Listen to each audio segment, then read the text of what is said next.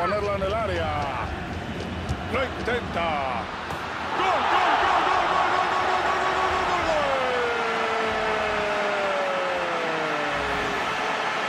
La inferioridad numérica complica mucho al aguantar al equipo sin encajar tanto. Exacto, Manolo, pero el es lo peor que te puede pasar en un partido.